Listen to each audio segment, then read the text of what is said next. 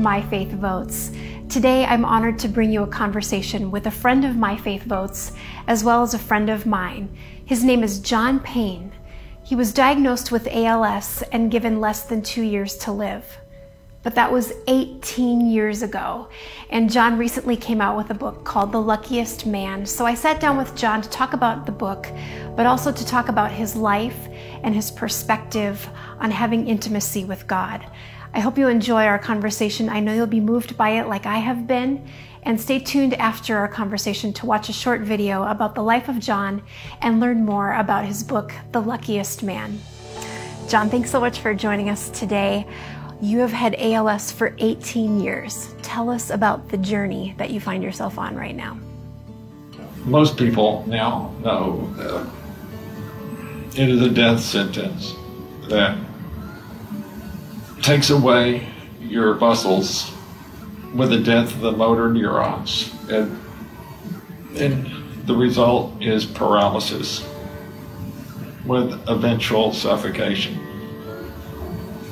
And that part of the journey has been characterized as, well, pain and suffering.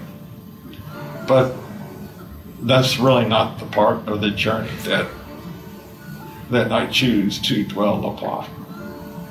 Because the other part of the journey has been one of victory. It has been one of, of uh, sliding into a dependence upon God that has produced with the an intimacy with God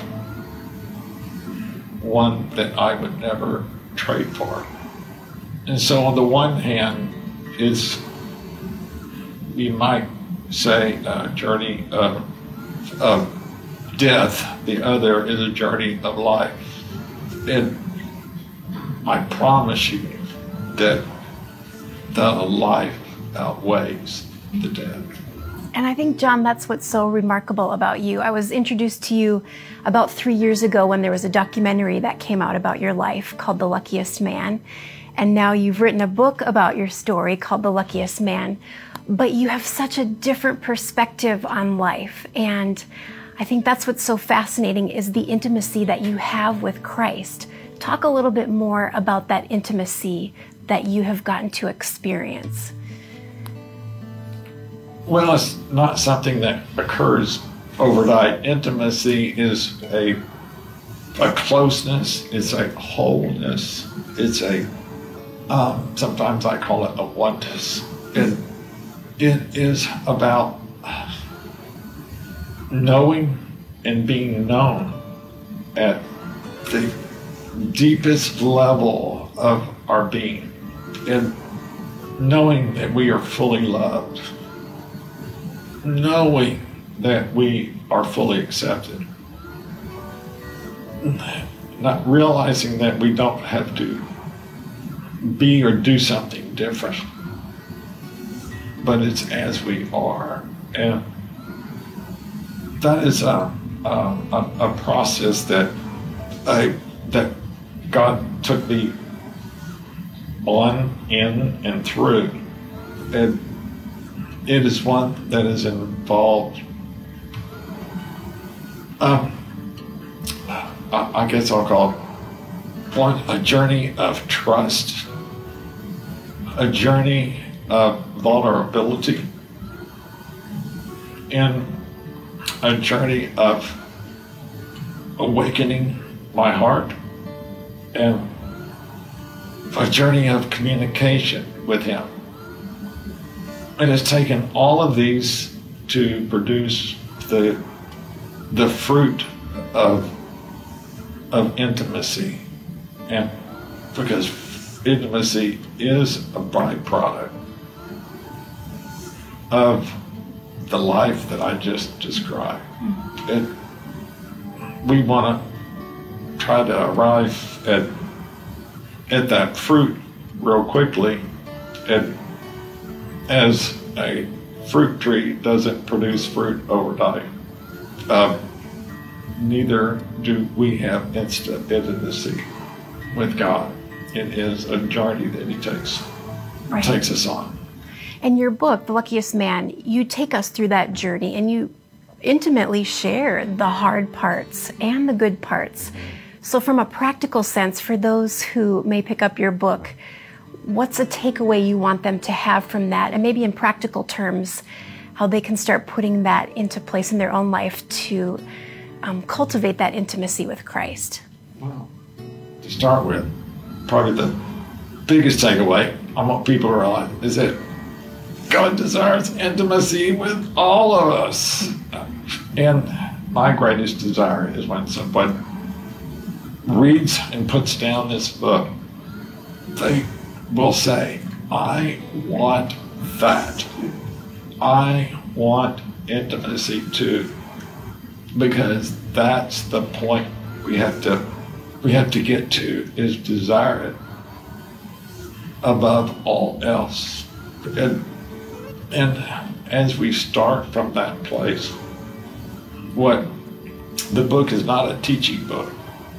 The book is showing what what I went through and the and the journey that God took me on. And, and what what I wanted to do was talk talk about vulnerability. I wanted to demonstrate vulnerability. And, you know, uh, I wanted to live trust, not tell you what trust is supposed to look like. And, you know, how could you, how can you truly be intimate with someone that you don't truly trust? How can you be intimate if you're living in a false self? How can you be intimate if you are withholding your emotions? Um, uh, if you're withholding your emotions within your heart and shell heart, you not only are you protecting your yourself from injury is what you think, but you're keeping God out also. So I go through that process. Better yet, God takes me through the process. It walks me step by step through. Well, it was the steps that I needed because I was dealing with um, pride, uh, self centeredness, um, some things that I did not even, or was not even aware of in my life. And how can you deal with those if you're not aware of them? Course, I guess I could have asked my wife. Uh, she could have told me about those a little more quickly. She probably did, but I may not have been paying close attention. Well, John, your book is called The Luckiest Man. And tell me what led to that particular title, especially for Christians, because Christians know that God is in control and may not believe in the word luck or the idea of luck. Oh, simple. That I uh, borrowed the phrase from another, uh, probably the most famous person with ALS is Lou Gehrig, and and he was uh, a first baseman called the Iron Man of baseball, and in his retirement with ALS, he declared himself the luckiest man alive. And it was because he fulfilled his dreams in life through professional baseball that he got to play. And so, in a similar way, uh, I fulfilled my dream of, of experiencing God and having intimacy with Him. And it's because of that I was able to fulfill the dreams of peace and contentment and joy and love And all of those things, how could I not say that I was the luckiest man? So, we live in a world that does everything it can to avoid pain and suffering. But I think what we forget is we need to have a biblical theology of suffering, especially as we approach issues related to our culture. Um, what do you tell people to kind of help them think through what is a proper biblical theology of suffering, especially from your perspective?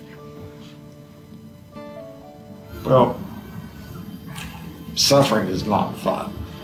And and as I sit here in this chair, I'm in pain. And I don't like it. And all I want truly is out of it. Uh, and yet, we, uh, is it, what I've learned is that there's, if you're going to live in this life, there's no avoidance of pain and suffering. And, and I wish there was a way, but there's not. And there's another thing we have to be careful with, or we mess our theology. We mess our belief set. And that is that we tend to associate uh, negative circumstances with that God is displeased, that God is punishing, or that we've fallen out of favor with God when we have negative circumstances in our life. And conversely, is if everything is going great, then we are in God's favor. And He is pleased with us. And then, while on occasions it can be true, we can really mess our theology up with that kind of belief, and it messes with our, and it uh, distorts our relationship with God. And, and because of that, I, uh, I uh, try to help people understand, or my friends understand that that that's not that that is not true, not necessarily true, and that in this world we will have suffering, and as a result, I live in pain and suffering. But I'm not out of favor with God. And in a similar way, um, it's not a matter of if you will have pain and suffering, it's when. And when that occurs, it doesn't mean you're out of favor with God. And so I encourage people, or I encourage others to, when they find themselves there, is to run to God and ask for comfort. That's the first thing he told us he would do, is that he would comfort us if we find ourselves there. So I I run to God for comfort when I'm in the midst of pain and suffering. And it's a constant running. It's Yes. not a one time thing. No, it is a constant running. I, I uh, just talk about it because we can't distort our theology and our views and and come to believe uh, uh, uh, false things about ourselves and about God. And it can be quite dangerous. And um, I mean, I think there's nothing more that that messes with people's head is when they have they're in the midst of pain and suffering and they they run to God with the one question that prolongs their suffering. The one question is why. It, that's a question that God does not answer. And it's the first question we want to ask is why? And someone else may have got an answer to that, but I've never met anybody that has.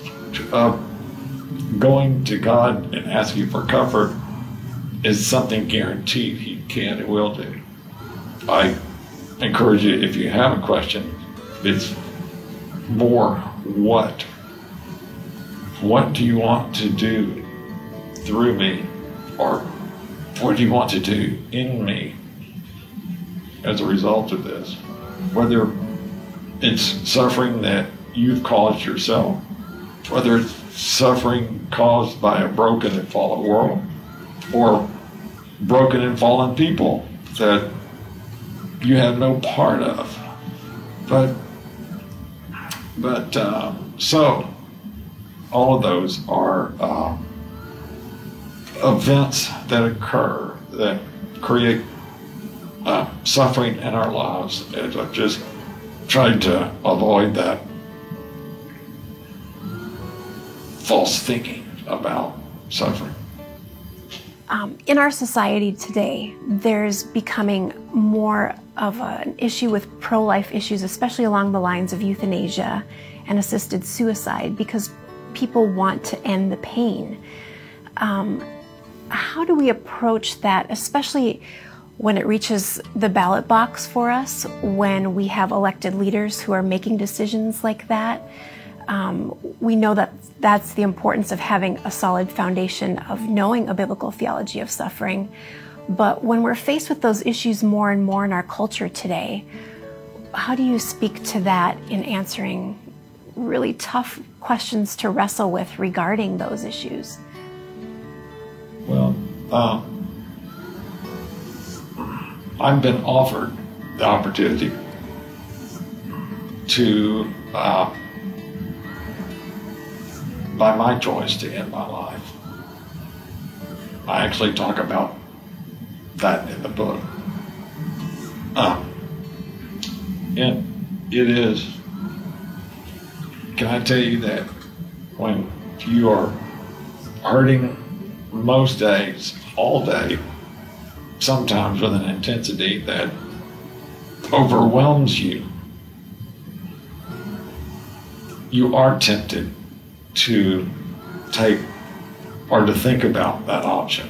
And to tell you that I haven't thought about it, I would be misrepresenting the truth.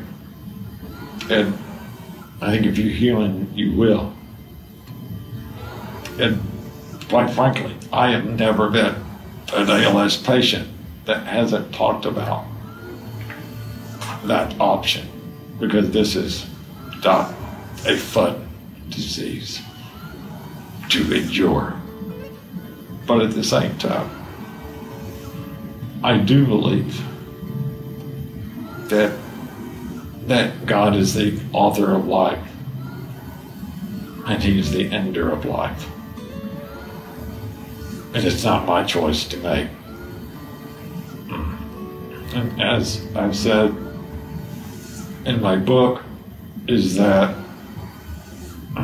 is that uh, I'm going to allow God to make that choice. And, and but I've, I've also made my desires known to my wife and children that I'm not here to live at all costs. I would prefer death right now to the physical life that I have to live. Um, the the spiritual life that I am able to live far exceeds the discomfort. And so, um, for me to uh, live as Christ, uh, to die may be, uh, may be nice, but God still has a purpose for me, or I would be gone. And the book would have never been written if I would have done what my flesh wants to do, which is check out. And hopefully the book will impact a few people's lives. Absolutely. A new soul just was was uh, welcomed into God's kingdom just a few days ago because of well uh, uh, uh, uh sharing the gospel with uh, a friend and and so which makes it a great 2019 for me as as uh, individuals accept Christ is, and I just get to share. It is so much fun. It is so much fun. Well, I love the hope that you give through your life and your example. So I want to thank you for bringing hope despite such challenging, difficult circumstances. And I hope that those that read your book are able to see that as well.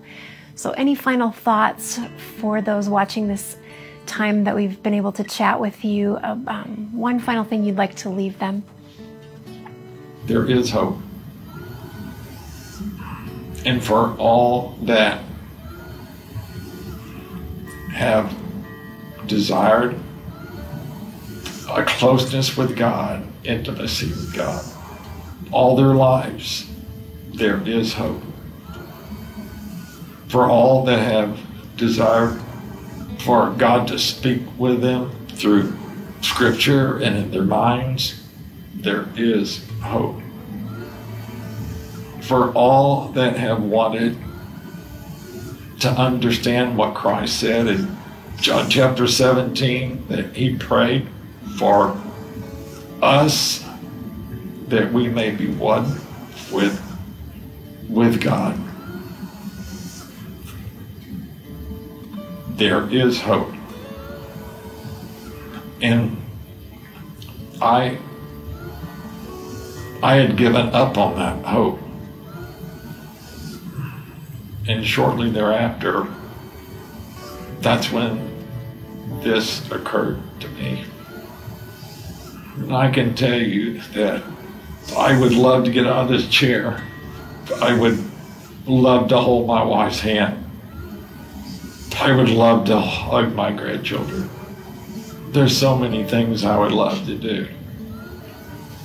But if that meant having to go back to my old ways of experiencing God, my old relationship with God,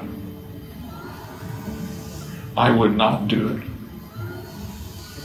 I'll keep this disease to have the relationship that I do with Him. And that's what I want everyone to know.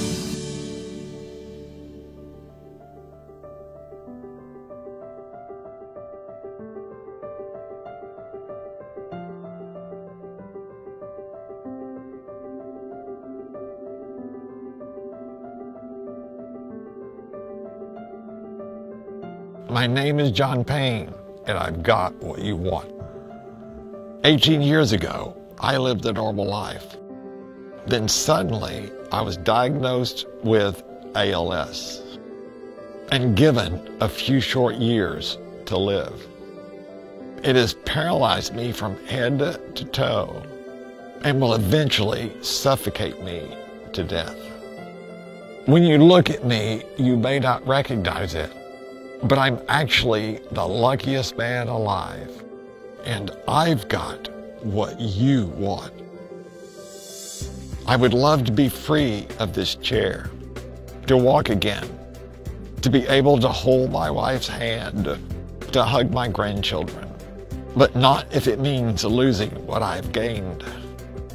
I know you may think I've lost my mind, but I haven't in spite of all this disease has stolen from me. I have gained what every Christian deeply longs for, and it has become my most prized possession. I've got what you want, and I want you to have it too.